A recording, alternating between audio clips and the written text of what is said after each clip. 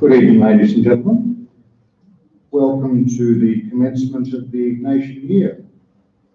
As I think you all know, at this moment, about 500 years ago, almost exactly, Ignatius Loyola changed much in his life and changed the lives of many of us here.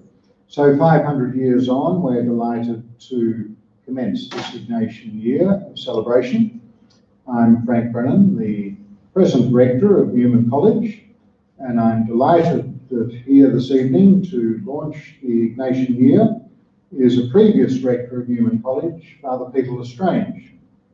Peter concluded his doctoral studies at the University of Oxford in 1991, writing a DPhil thesis on 19th century British Jesuits and their relationships to the hierarchy. And on his return to Australia, he was then made rector of Newman College from 1991 to 2005. So we're delighted that he's able to return to the college this evening and make this presentation. And I'm even more pleased to report that at the conclusion, the vote of thanks for the evening will be delivered by another previous rector of Newman College, our beloved scholar in residence, Father William Uren. So without further ado, might I invite Peter L'Estrange back to the podium that he knew so well in the past.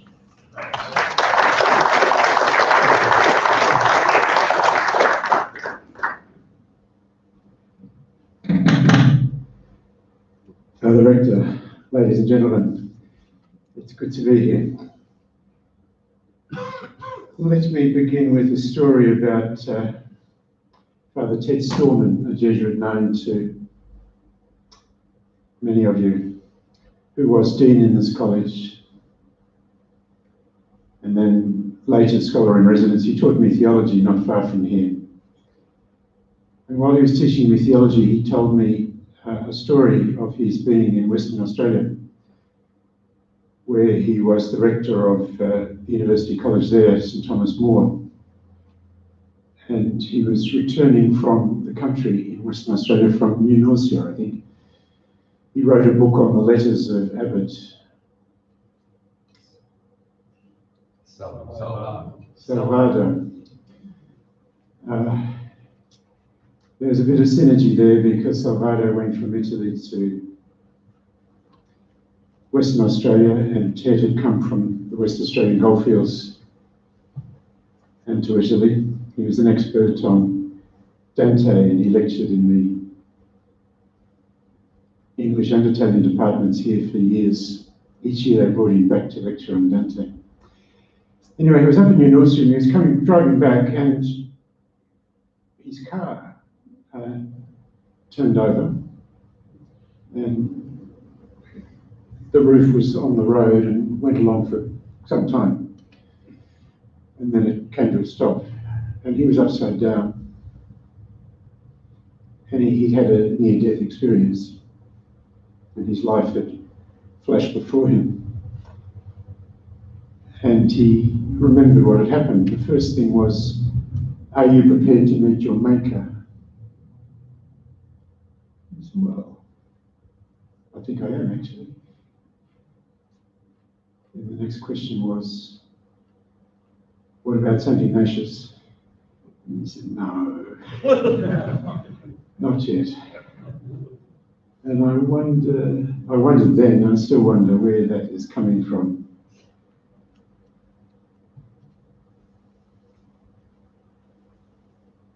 A recent uh, Jesuit biographer of Ignatius points out that few men in history have accomplished a work of such proportions as Ignatius Loyola did, with results stretching from the imperial palace in Peking to the forest of Paraguay, and successfully escaped the fame that their achievement brought them.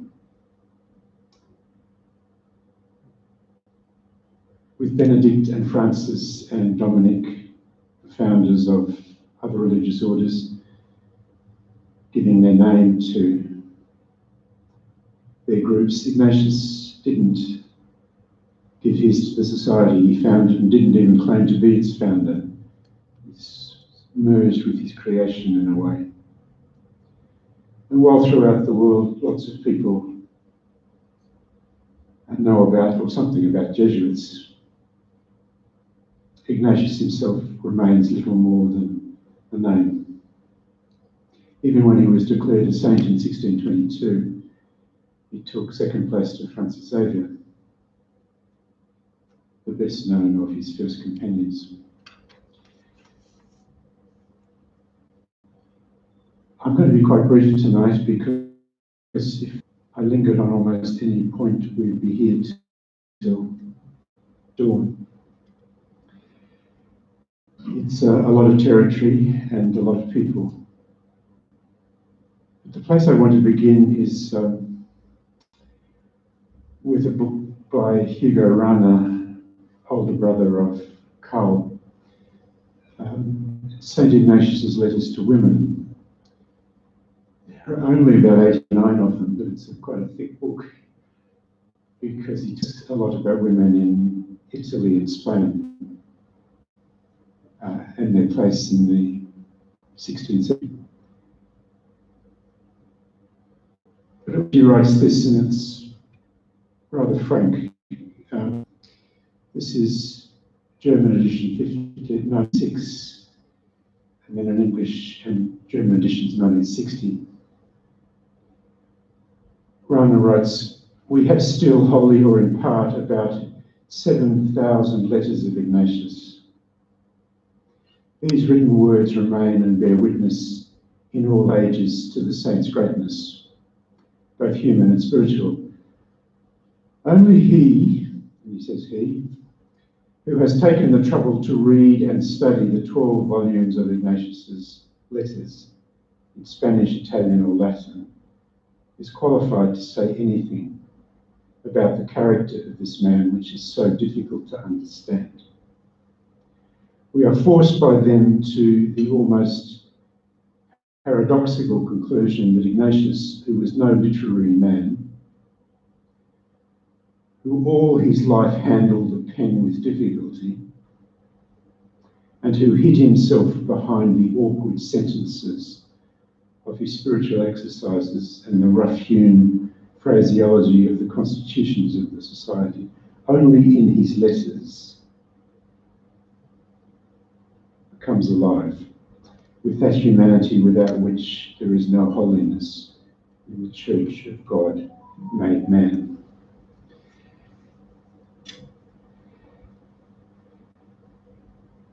There are a couple of difficulties um, in talking about Ignatius and the early Jesuits. The first is just the volume of material. Ignatius has the largest correspondent extant of any 16th century figure. None accepted. Larger than Calvin, larger than Erasmus, larger than Luther. There are 125 volumes of the Monumenta Historica. 12 volumes of those are Ignatius's letters. A second, a second difficulty comes from the great range of activities in which the early Jesuits engaged. They dealt with kings and paupers, with the devout, and with public sinners, with popes, with prelates, with lowly pastors, with convents of nuns. They excluded no category of the laity from their ministry. By 1565, about a decade after his death, they were active in many countries of Western Europe, but also in Brazil, in India, in Japan, elsewhere. They preached, taught catechism, proposed new sacramental practices, and sought to help orphans, prostitutes, prisoners, they developed patterns of piety that were peculiarly their own, no matter how traditional the elements upon which they drew. They appropriated both scholastic and humanistic learning. They tried to relate these two cultures to one another. They wrote plays, were present at the Council of Trent. They engaged in polemics with Protestants, and to their dismay, found themselves caught controversies among Catholics. They supported various inquisitors and inquisitions, yet sometimes found themselves the object of inquisitorial scrutiny and censures. They taught in universities. Within six or seven years, seven or eight years, I suppose, of their papal approval, they founded and operated schools. The materials uh, have been known for a long time. Uh, the spiritual exercises, about which more in a minute. The formula of the Institute, which was like the rule of the older orders, what they were, thought they were doing. The constitutions, uh, printed in Latin after Ignatius's death, his autobiography, and particularly his correspondence, which is only now being worked on much more carefully. And there are purple passages uh, everywhere about them. They have their enemies and their friends. There's a current uh, English historian who says they have been urbane courtiers in Paris, Peking, and Prague, telling kings when to marry, when and how to go to war, serving as astronomers to Chinese emperors, or as chaplains to Japanese armies invading Korea.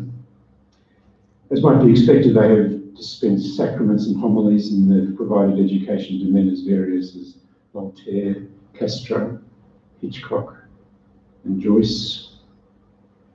But they've also been sheep farmers in Quito, hacienda owners in Mexico, wine growers in Australia, plantation owners in the antebellum United States.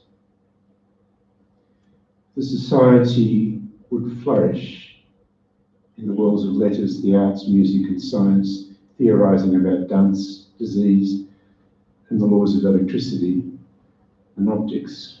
Jesuits would grapple with the challenges of Descartes, Copernicus, Newton, and 35 craters on the surface of the moon would be named for Jesuit scientists. And in lots of books you find similar paragraphs. I like the other end of the uh, spectrum. People that few have heard of or uh,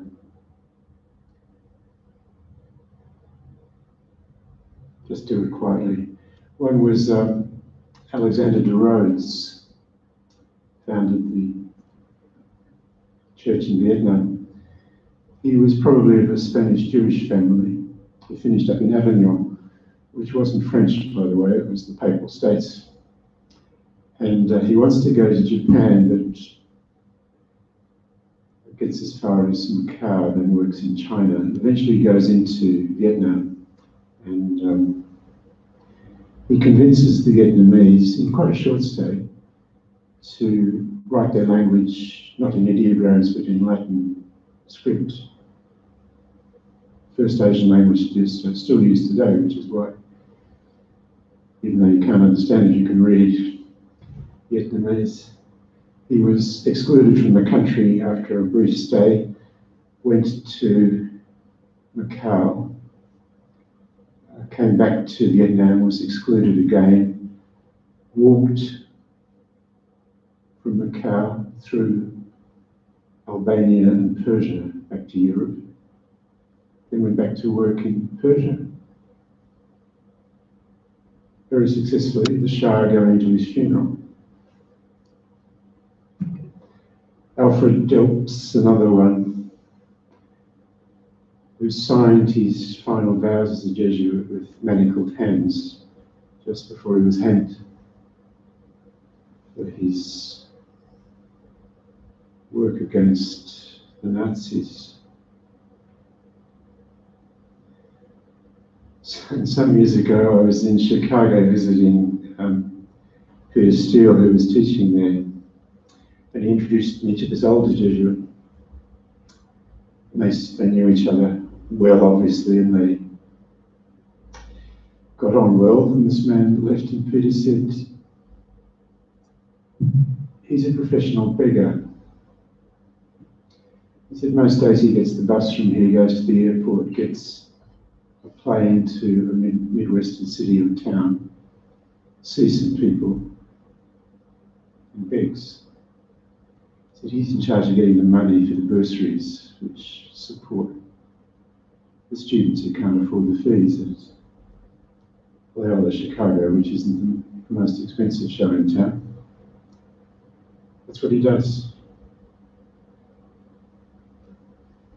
And throughout our history, um, most people have been like that. Um, sometimes historians um,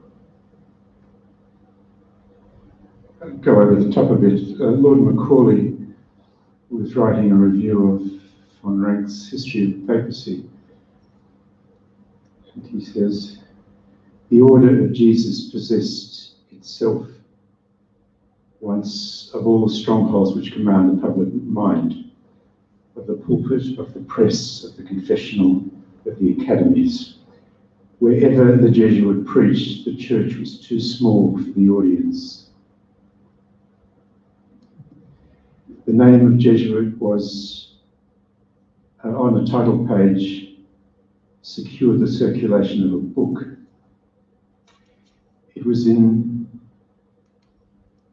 the ears of a Jesuit that the powerful, the noble, and the beautiful breathe the secret history of their lives. It was at the feet of the Jesuit that the youth of the higher and middle classes were brought up from childhood to manhood, from the first rudiments to the courses of rhetoric and philosophy, literature and sciences, lately associated with infidelity and heresy, now became the allies of orthodoxy.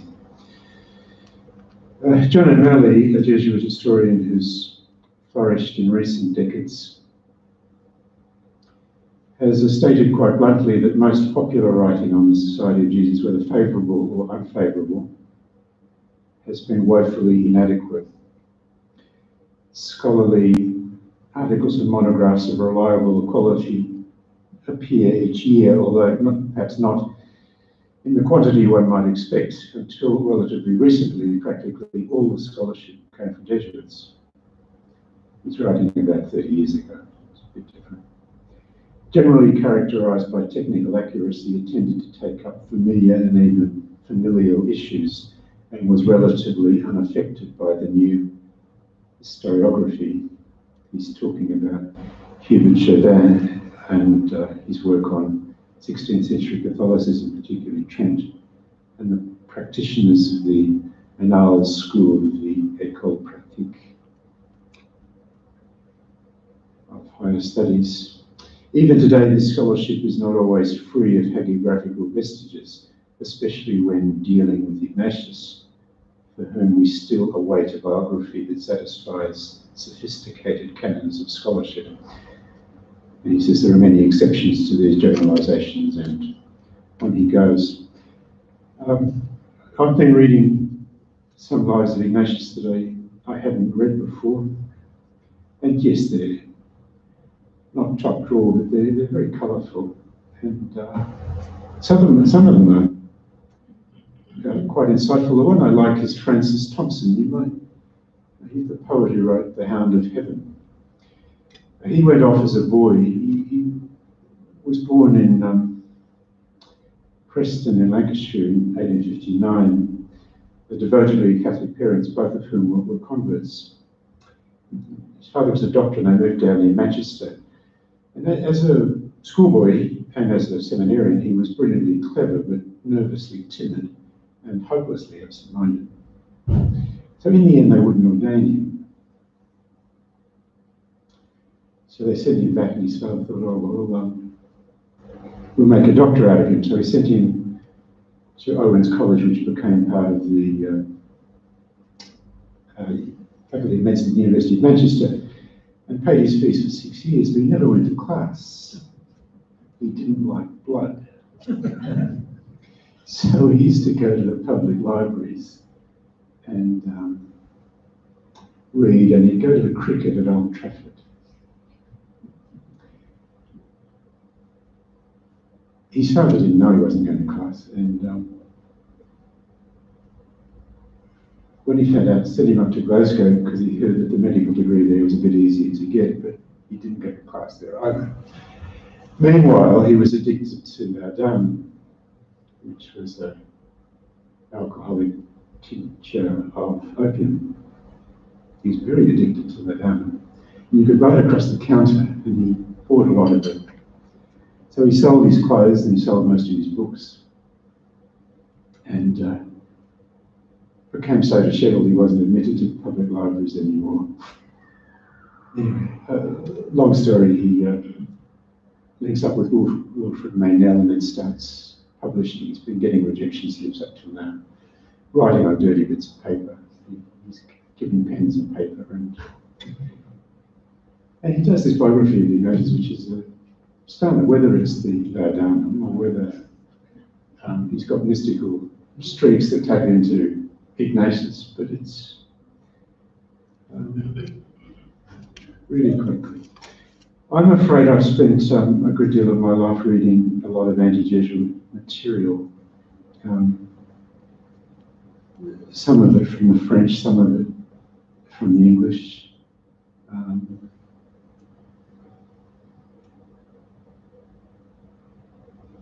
you get their supporters who aren't all that balanced, as O'Malley was um, hinting, but you get um, the other stuff. This is a Spanish book in the late 1880s. The title, The Jesuits, Their Mode of Life, Their Habits, Adulteries, Assassinations, Regicides, Poisonings, and other peccadillos committed by that celebrated society. And there are many worse than that. Uh, in the chapel, you heard a bit about um, Pamplona, so I won't. Um, I won't go over that uh, again.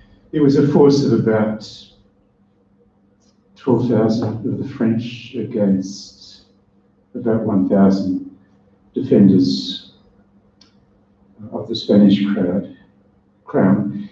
The uh, odds were impossible, and prudent heads counselled surrender, but uh, that wasn't the way it went.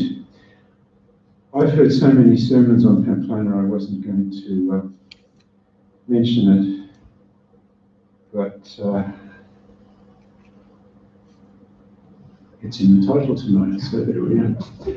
Um, I, still remember a lot of those sermons. It was the cannonball. He knew it was coming. The next sentence was probably, and he founded the Jesuits. And the next sentence was, they became the schoolmasters of Europe. And the next sentence, they were contending with the Lutherans. So within a paragraph, it wasn't quite like that. Um, I want to talk um, about the way the early society changed in a very short time. And I think there are lessons for us there, and that's really, uh, if there's time, which is not going to be, I was going to talk about um, Ignatius's letters, but that's another story. Um,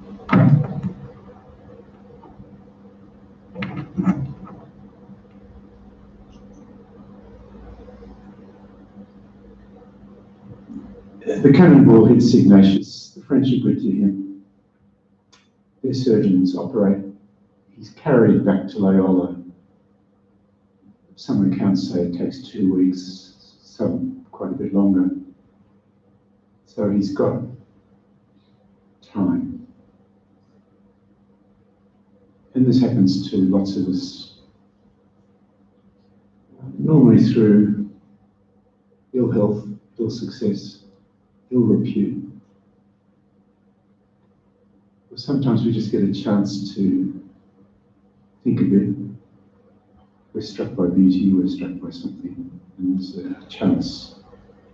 Um, but there are 19 years between the cannonball and the acceptance of the Society of Jesus. And then there are 16 years of uh, Ignatius' service as the General Superior of that group. Um, so just mentioning the places he goes after a year or so and more operations to uh, Montserrat, then nearby to Manresa. Um, we were talking at dinner, uh, probably a more significant experience than cannonball. He has a, a vision there of the river which brings his life together. Goes to Venice, gets to Jerusalem. Uh, the Franciscans tell him to go after 20 days. Comes back to school in Ba- Barcelona where he joins schoolboys to learn Latin. Goes to university at Alcalá, Salamanca, briefly. Neither of them very successful. Goes to jail. Uh, they think he's one of the Illuminati with some evidence. Um, then goes to Paris for about seven years. Eventually to returns to Spain briefly, goes to Venice hoping to um, move to uh, to Jerusalem, but that doesn't happen. So he links up with his friends and they go back to Rome where they have to decide what they're going to do.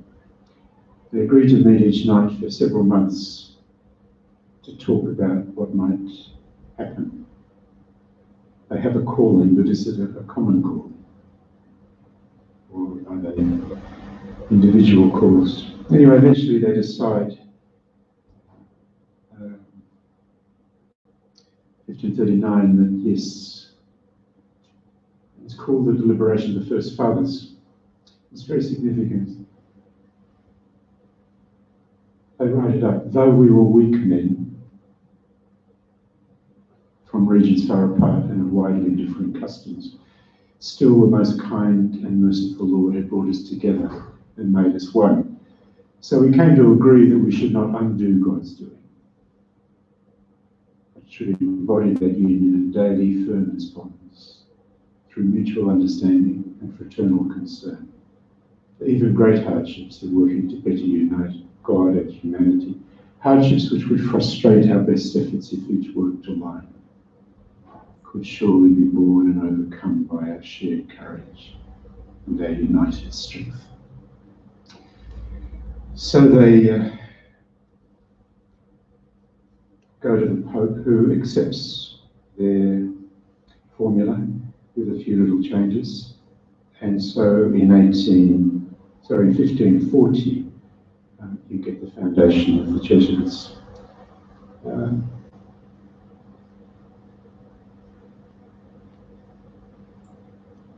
Ignatius's biographers um, almost invariably divide his 65 years into three segments of approximately 35 15 and 20 years respectively.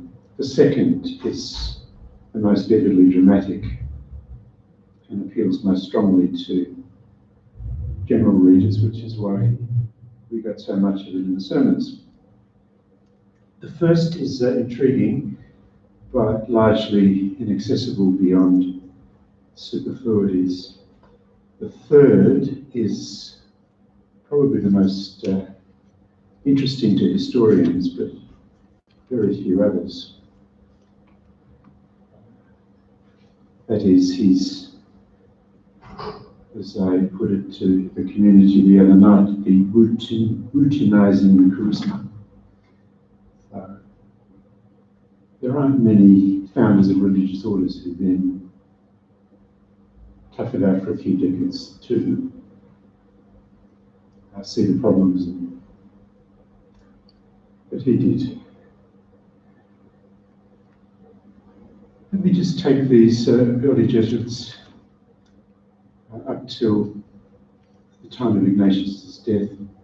and uh, talk about some of the changes that happened very quickly.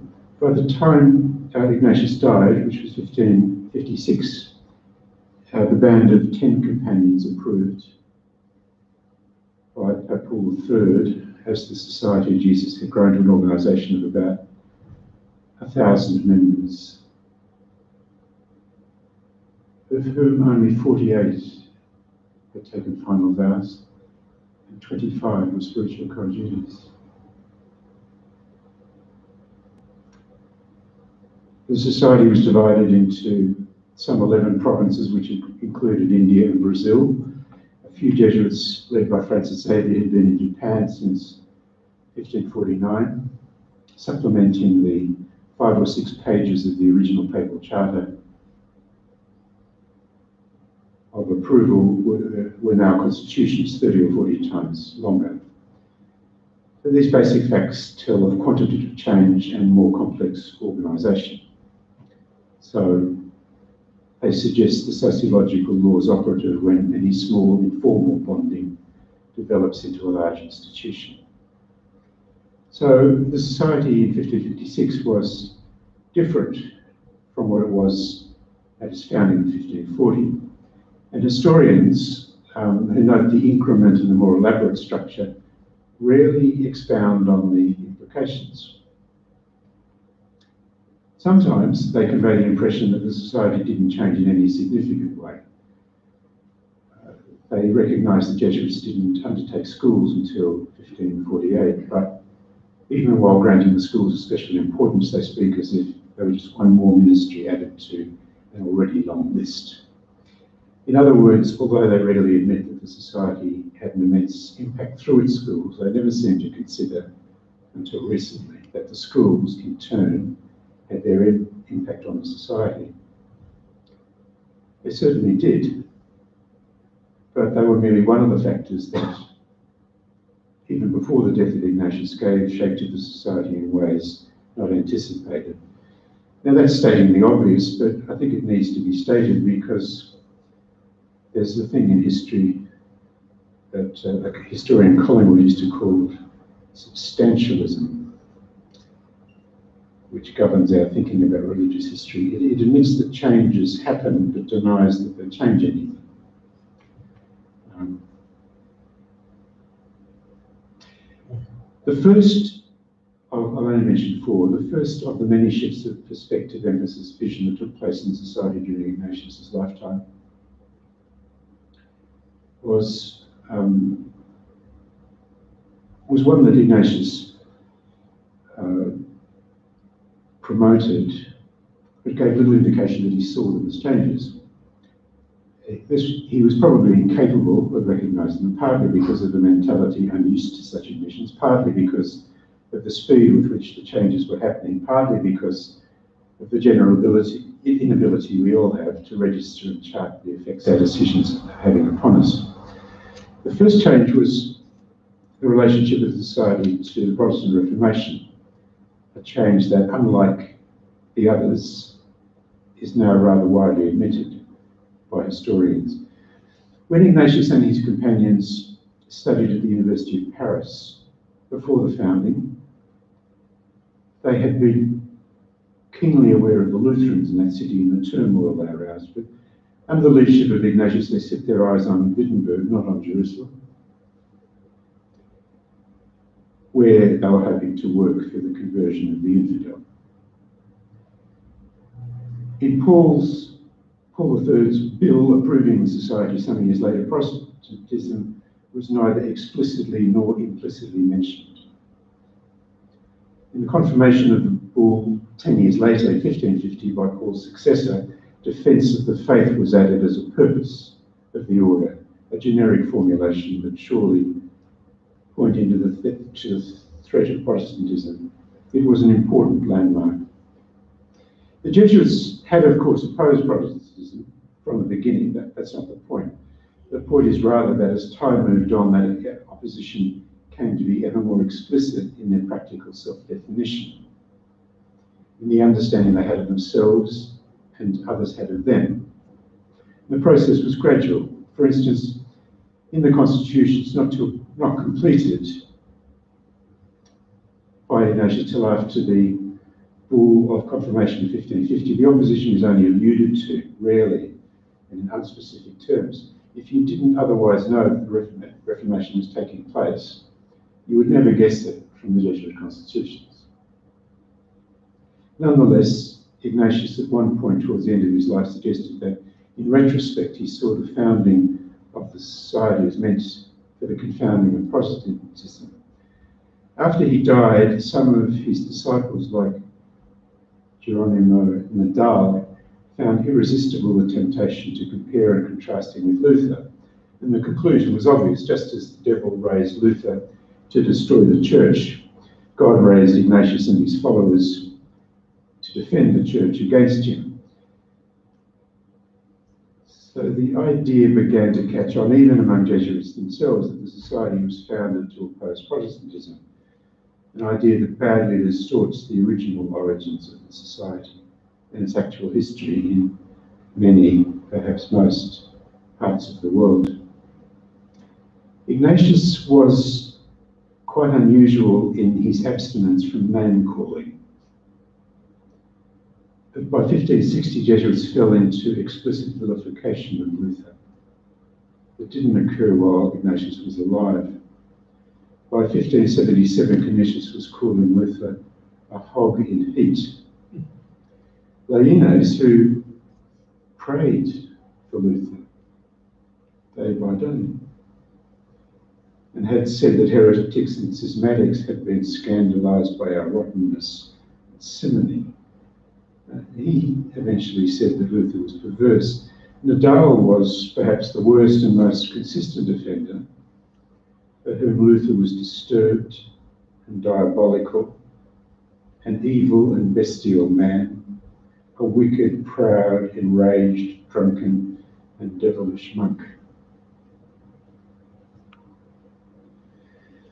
Subsequent historians emphasized how Ignatius, the former soldier, founded the society on a strict and prompt obedience, a discipline required for an order whose supposedly principal aim was to counter onslaughts of the Protestants. And this brings me to the second change Evidence indicates that Ignatius, from the time of his conversion, 500 years ago today, until well after the founding of the society, was much more concerned with poverty than with obedience. Although he gradually came to realise how in his own life and then in the life of the society, the ideal of poverty radiant in St. Francis of Assisi had to be modified, he was nevertheless captivated by it. Not until about 1547 does Ignatius begin to stress the importance of obedience and to describe it as especially characteristic of the society. In the next few years, a series of letters from Ignatius or his secretary directed to Jesuits in the Iberian Peninsula deal with the matter, reaching a kind of crescendo in 1553 with the famous letter on obedience to the members of the Portuguese province. The occasion for the correspondence was domestic disarray, not more effective deployment of troops against the Protestants. As has often been noted, military image is practically absent from these letters. The problem arose because some Jesuits went to extremes in fasting and other penances in Portugal. However, the situation devolved into factionalism and defiance. The letters therefore give direct attention to traditionally recognised ascetical and spiritual values of obedience rather than to the urgency that the virtue might have the Jesuit ministry. In the letter of 1553, for instance, the Jesuit special vow of obedience to the Pope, a vow directly concerned with mobility for ministry, was not even mentioned. And that letter began soon to be read aloud on a regular basis in Jesuit refectories everywhere in the world, the only one of his nearly 7,000 letters thus honoured. The practice wasn't ordered or directly promoted by Ignatius, but it indicates a new prominence accorded obedience by him and by others. Obedience was now well on its way to becoming the virtue most characteristic of the Jesuit. The special vow of obedience to the Pope brings us to the third way the society changed during these early years. When Ignatius and his companions first envisaged journeying to Palestine to work for the conversion of the infidels, they had to reckon with the possibility that disturbed legal conditions would make the trip impossible, which in fact they did. The alternative was to put their ministry at the disposal of the Pope, since he presumably had the best information about where their ministry might best be employed. As is well known, the, by 1540 the alternative was articulated in the special vow concerning missions. Although the our puzzled officials of the papal court, it was included in the approval of the society by the Pope. The first Jesuits seemed to think that by and large they would regularly, as individuals and small bands, receive pastoral assignments directly from the Pope. This would be distinctive of the way they would operate. Ignatius, at one point around 1545, in fact, referred to the vow as the principle and principal foundation of the society. What this seems to have meant was that it was the effective means for accomplishing a mobile and apostolic ministry in imitation of the sending of the twelve by Jesus and the pastoral ministries described in Acts and the Pauline letters. As the constitutions indicated these papal missions were to be short, generally lasting no longer than three months. In the early years, some Jesuits received such missions, but as the number of Jesuits grew, the number of papal missions became proportionately insignificant. The general of the order or other superiors made almost all assignments. This change was an inevitable result of growth, but more seemed to be involved here than mere accommodation to numerical increment. In the constitutions, practically everything that is said about obedience to the Pope in relation to the special vow is immediately repeated about obedience to the general. In fact, the, the fact is immensely important for understanding what the vow itself meant, but it also puts the general on the same level with the Pope for deployment of Jesuits. An awkward sentence seems indeed to favour the latter over the former. The superior of the society can more easily and more expeditiously make provision for many places especially those remote from the apostolic see, than would be the case if those who need members of the society always had to approach the sovereign pontiff. For whatever reason, Ignatius doesn't incorporate into the constitutions that earlier description of the vow as our principle and principal foundation. And for such a foundation, he speaks of it astonishingly rarely in the 12 volumes of his correspondence seems probable that in his mind a subtle shift from the original understanding of how Jesuits would relate to the Pope had taken place. It was a shift that perhaps helps account for the tension between him and Nicholas Bobadilla, one of his original companions, who seems to have clung to an earlier understanding of that relationship, an understanding that would allow Bobadilla a certain independence of the general under the aegis of papal sponsorship. In any case, the assumption that the Pope would be the person best informed where ministry was needed was now challenged by the quantity and quality of information that poured into Jesuit headquarters from around the world through this correspondence Ignatius demanded of them. It's a very different situation from 1540. The fourth series of ships resulted from the decision to operate schools. In 1540, such an option was not only not foreseen, but implicitly precluded by a number of other decisions. Through a series of small steps, however, the Jesuits moved to a point that in 1548, Ignatius allowed, or was persuaded, uh, to open a school for lay students in Messina, in Sicily. And the success propelled the Jesuits take schooling as, in effect, their primary and most distinctive ministry. By the time Ignatius died, Jesuits were operating some 35 or more schools, that is about four a year they were opening. By the time of the suppression, there were 800, I think.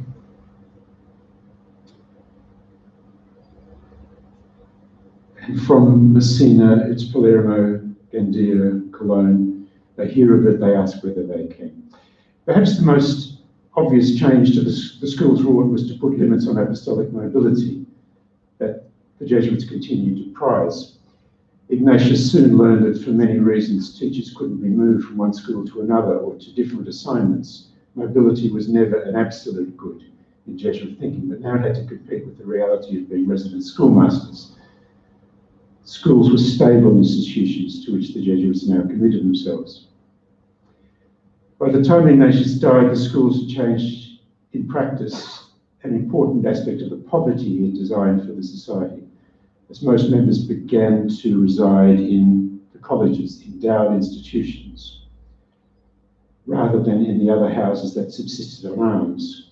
In Ignatius's original vision, all members of the society who finished their education were to live in the latter.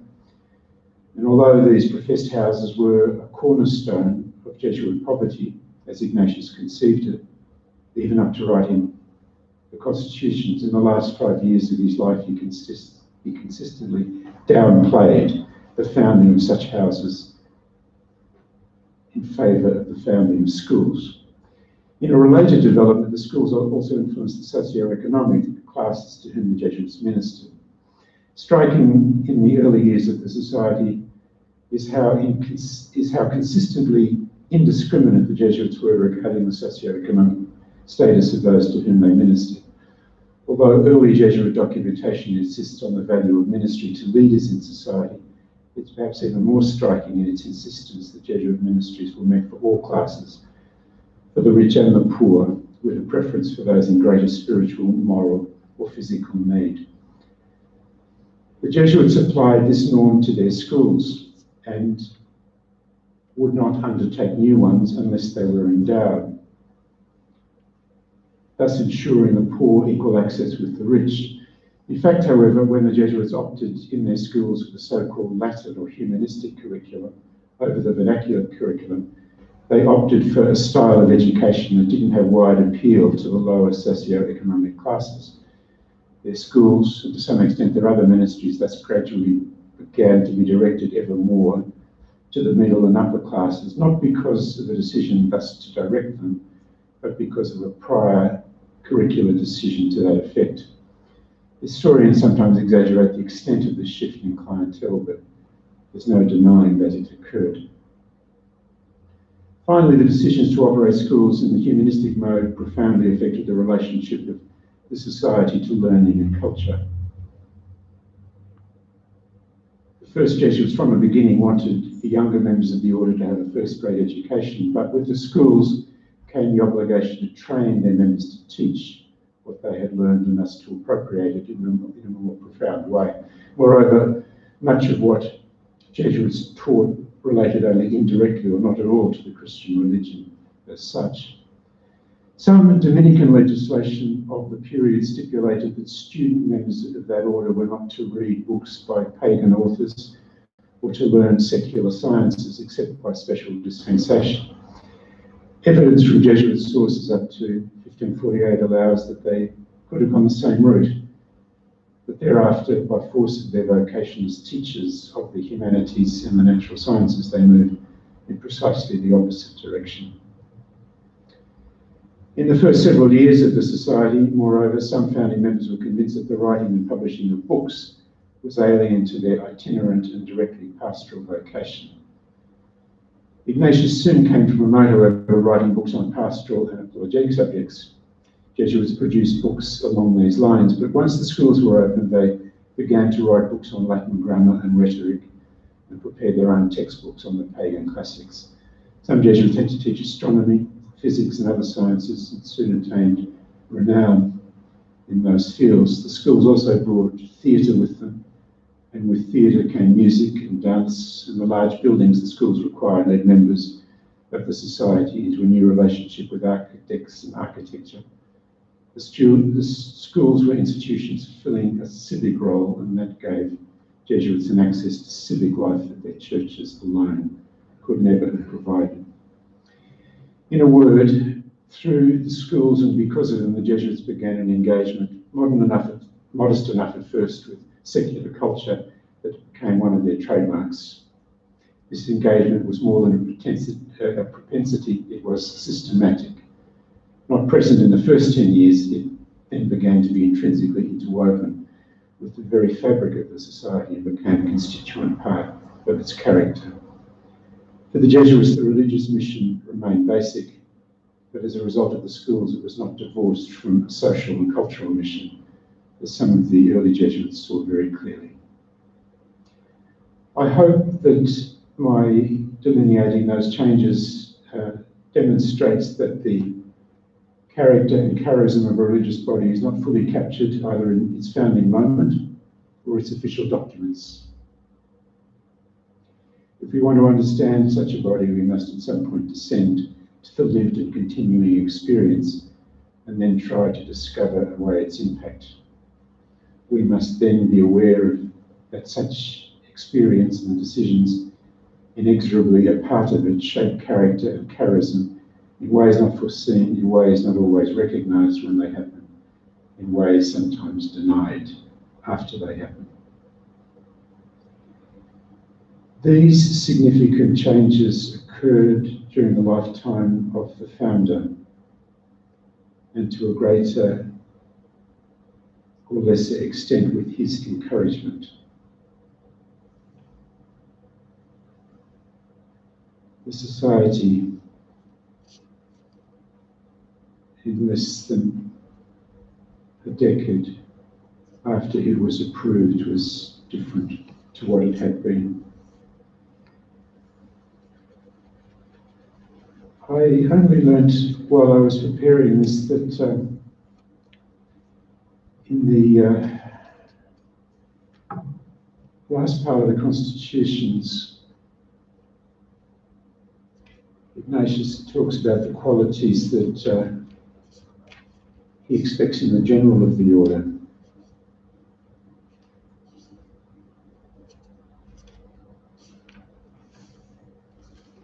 And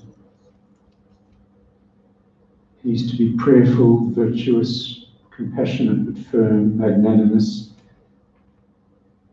and courageous, not without learning, unswervingly committed to the society and its goals, a person of sound judgment.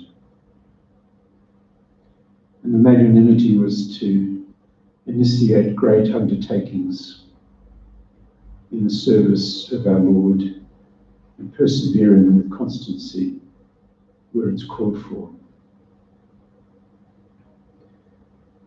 What I've never seen before is that whole passage is based on a paragraph in Cicero, De Officiis, in which he insists that the person committed to the common good of society be ready to risk life and all worldly goods in pursuit of that cause. And besides courage and constancy, breadth of vision is called for in both texts. It's interesting that Ignatius, in finding the best expression of breadth or vision, which he wanted to be characteristic of every member of the society, he found uh, not in the Bible but in Cicero. I haven't time to talk about uh, the letters which I was looking forward to do. Ignatius, in his uh, various capacities as spiritual director, as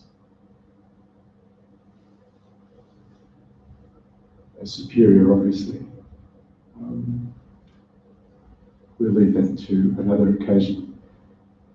But of the 7,000 or so letters, 900 and uh, something of them finish with the same words. I close by asking through his infinite goodness that he give us the perfect grace to know his most holy will and to fulfill it completely. To know, sentir is the word, to feel.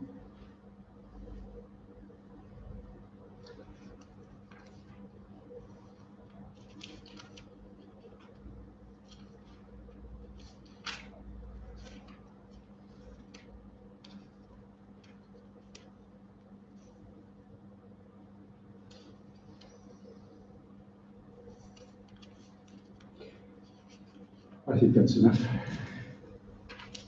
There are many ways, as I say, we could have gone. Um, talking about um, missionaries in, in North America having their toenails pulled out and arrested, or uh, the saints, uh, the war stories about the successes, but uh, I hope that I've given you some insight into what we begin to celebrate. Thank you.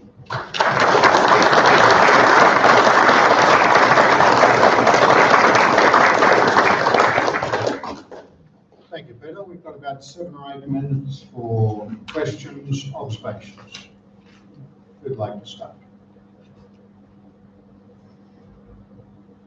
While others are thinking, Peter, uh, Philip Endean once said to me that he thought that Ignatius's ideas on discernment and government were very good, well suited and well tested in times of expansion, but not so good in times of contraction. Would you care to comment?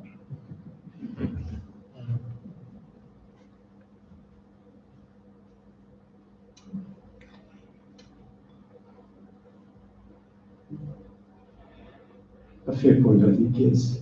Um, I really didn't say very much about um, consolation and desolation, which is how, from his own experience, Ignatius worked out which way God might be moving in him and what he should do. Uh, the spiritual exercises, of course, again, which I haven't spent any time on, is, is, is based on that. Um, Ignatius, uh, to begin with, I think you mentioned his reading the, uh, the lives of Christ and the saints. Uh, I think he, they're just a substitute for his chivalry, his uh, chivalry, and he wants to imitate them because, and he wants to, to do it because it's hard and because saints have done it. It takes him a while to, to sort that out. But I think um, Brother Endean's point is a good one. That, uh, it's a different story, isn't it, Wayne? I must say, though, that of the schools I was mentioning, um, Ignatius eventually insists that they be endowed. That is, he says, um, get the money before you open them. Don't take their word for it. get the stuff. And all sorts of people endow them. So in places it's the, uh, the town, in places it's the duke, or in Vienna it's the king or individuals or groups of individuals. So, um,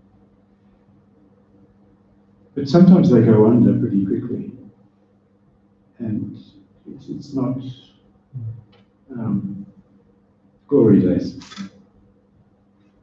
Yes, Tony. Peter, thank you for that. As you were talking about Ignatius and the sort of forces, I, thought a little bit about Muhammad and the younger Muhammad and the older Muhammad and the Quran and, and the influence of that on how you interpret a, a faith or a belief. Anything you say about the younger Ignatius and the older Ignatius, this question of constancy and training Bible.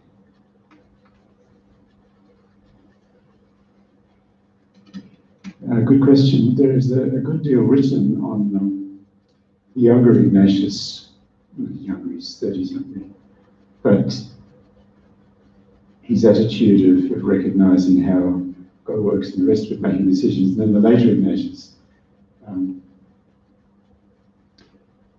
uh, with the, the hard decisions that come. Um, Tom Roberts, an English Jesuit who was the headmaster, he then went out to the Archbishop of Bombay. Um, he's very clear that there are the two distinct parts of Ignatius's life, and he says it's trying to blend the good features of the guru with uh, the good features of the commissar. And another Jesuit biographer um, talks about um, trying to put together the Quaker Jesuit with the fascist Jesuit. He sees those as two aspects of. Now, we all know Quaker Jesuits, and we might have met a fascist or two, but um, uh, I was where I was reading that was interesting because um,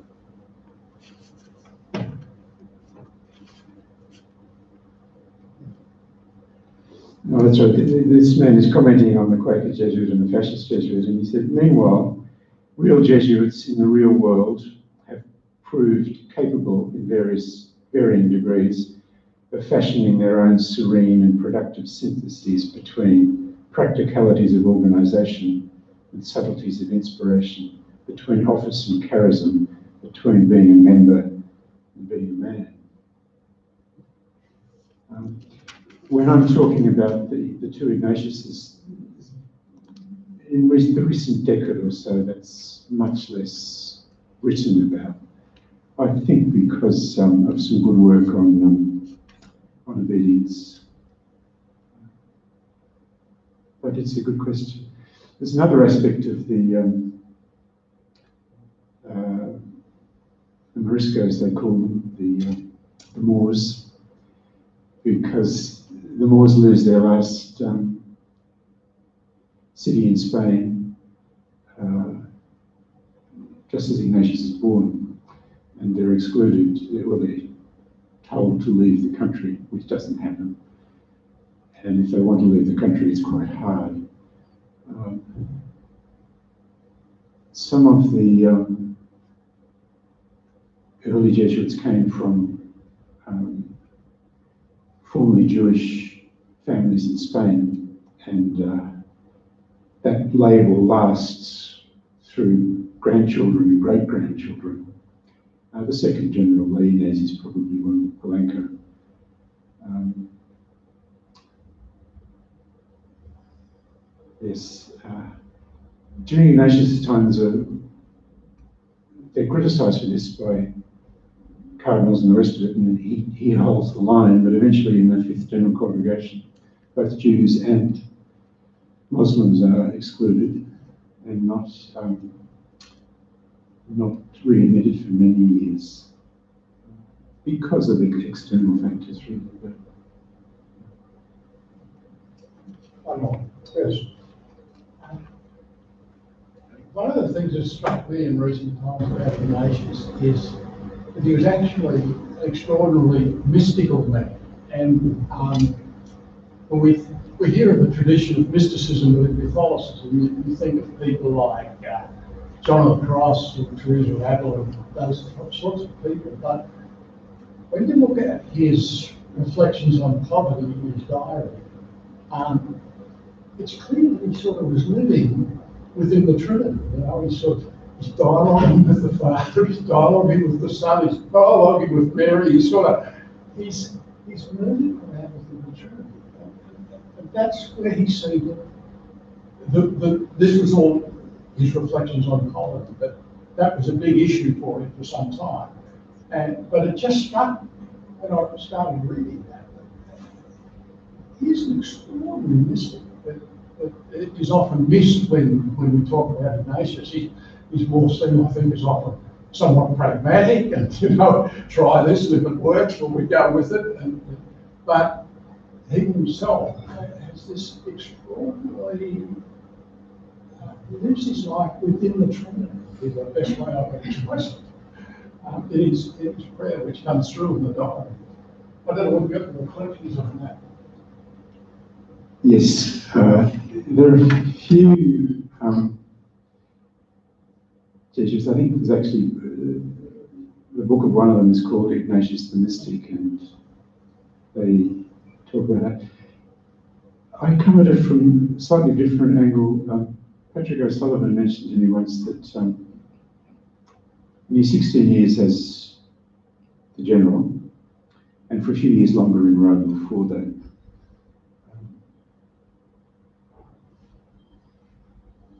when he had to do anything, he'd walk and do it. So he had to see the Pope or see a cardinal or see somebody. So his living in Rome was, that was the way it was done. He didn't travel. Um, and this, when, when you read about how simply he lived, um, in this small room, in this small room, and took his meals in a private dining room with whoever he wanted to see. Um, fits in with what you're saying, that there are contours to his life of, um, of prayer. We, I don't think we have any sermon of Ignatius. Um, he doesn't seem to have preached as general. Um, his spiritual diaries only recently, and it's just notes for himself. He wasn't preparing for anybody. Just beginning to um, come out in editions. You're onto something there. And I think his, his men knew it too. Ladies and gentlemen, uh, Peter's successor as rector and my predecessor as rector is Phil Uren. And it's my great pleasure to ask Phil to propose a vote of thanks.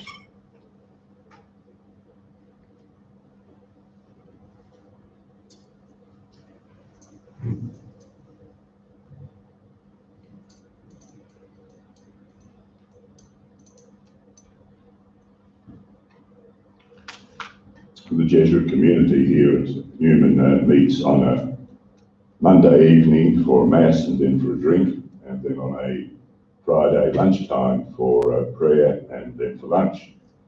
And it was about, I suppose, a bit over a month ago that uh, after a fusillade of letters from uh, the General on the one hand and the Provincial on the other about the upcoming Ignatian year, we decided we'd better at least discuss this matter. And um, there weren't many ideas coming forward, I must admit. Uh, but then Frank came up with the bright idea that we should have a lecture on the actual day of the, the 500 years down the track. And they came up with the even better idea that the person to deliver this lecture should be Peter L'Estrange. I mean, I was a bit taken aback, I must admit. I would have thought one of our uh, spiritual, spiritual mentors, the like of Michael Smith or uh, perhaps Michael Hansen, we might invite one of them to come along to speak about Ignatius and the cannonball and the way it's changed his life and the way it's changed our lives. But Frank was quite insistent it should be Peter L'Estrange, and I guess that's because Peter and Frank were together for a number of years, as you know, in Canberra, and I guess uh, Frank must have, as it were, sipped of that wisdom uh, while um, they were together in Canberra, and uh, I think he had a certain idea to put Peter on the spot, as a matter of fact, um, to come up with many of these random ideas that he has about Ignatius and give us a, a lecture. Um, so I'm absolutely delighted, Peter, and thank you very much for what you've given us this evening. I can remember sitting in the chapel. I came here in the middle of 19, 2005 when Peter was still rector and sat in the chapel many times when Peter was uh, delivering a sermon. And he made occasionally an allusion to the society and to Ignatian spirituality. And uh, I often thought to myself, I only wish he'd developed that in greater length. Well, tonight he has developed it in greater length. Um, I particularly uh, am delighted because this college owes Peter so very much. Um, and I can say that in a authoritative way, probably better than anybody else because I was the rector before Peter and I was the rector after Peter. And I know when I came back in 2000, and let's say middle of 2005, this college was a much better place than it was when I left it in uh, 1990. And that was because of the, uh, the influence that Peter had exerted over those 15 years. As you all know that um, Jeremiah Murphy, who's the anniversary whose death we celebrated last Monday, I think it was, was here for 30 years, or the second longest extent uh, as a rector um, continuously is Peter, and um, he left a very significant mark on this college. So just, I'm really delighted that we were able to invite him back to, tonight and to hear him uh, give voice to that vast and background knowledge he has, not only of Ignatius, as we heard, but of various other characters. That Alexander of Rhodes reminded me of Jerry Healy, I must admit. uh, the way that he seemed to be able to move uh, in the chairman's lounge from Persia to Vietnam. but various other people that he mentioned. And the wonderful story about Francis Thompson, I never knew about that. Reminded me to some degree of Tony Ruin. Um, and uh, the, uh, the way that Tony lived out his life. So I love those asides, Peter, but I also like the, the theme that you, you took, particularly the three uh, structural developments that you uh, enunciated in the latter part of the lecture, the understanding the way in which the society developed.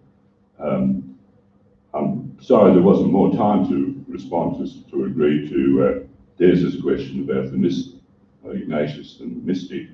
I always thought Ignatius was very much a pragmatic and uh, negotiating uh, superior of the society.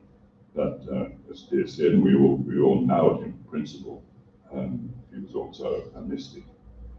So, Peter, thank you so very much. Um, um, I, I wasn't surprised, but I was delighted by the, the range of um, uh, explorations you ventured into this evening. And I think it's been a wonderful way for us, certainly both at Newman and I hope for the province, to initiate this uh, 500th anniversary of the uh, cannonball incident in the of St. Thank you.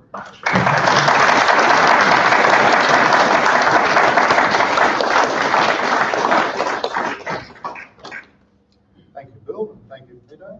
And we've got supper available, so please stay on a while and talk more with Peter about anything you'd like to discuss. And have a great Ignatian year. Thank you.